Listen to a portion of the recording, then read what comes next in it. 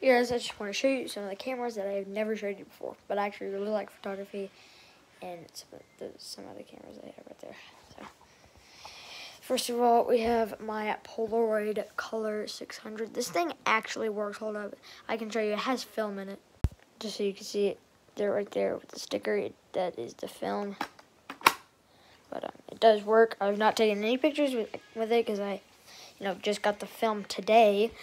Um, but uh, it's a pretty nice camera. Um, a lady from church gave it to my brother, and I took it from my brother.